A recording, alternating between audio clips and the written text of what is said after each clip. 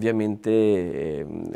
per quanto riguarda la valorizzazione noi intendiamo anche la parte, oltre ovviamente alla realtà museale, alla realtà delle mostre, anche la parte eventi. Sabato questo 18 maggio avremo appunto la notte del, dei musei, quindi le notti europee, la festa della musica, queste sono eh, altre manifestazioni che ci aiutano con una media diciamo, di afflusso tra i, dai 50 ai 100 mila, senza considerare ovviamente la festa di Roma che è anche un'occasione per riportare comunque i cittadini romani e non a Roma una valorizzazione di ciò che si vede ma ciò che è anche all'interno. Quindi questo System Integrator ehm, è, che è Zedema appunto consente una regia abbastanza eh, molto competente per certi versi, è una progettazione veramente specifica di eh, aggiornarsi ai tempi appunto con la, realtà, con la realtà virtuale ma anche allo stesso tempo accogliere i cittadini fruitori attraverso degli eventi che riempiano, quindi il nostro compito è quello di portare anche attraverso queste manifestazioni le persone all'interno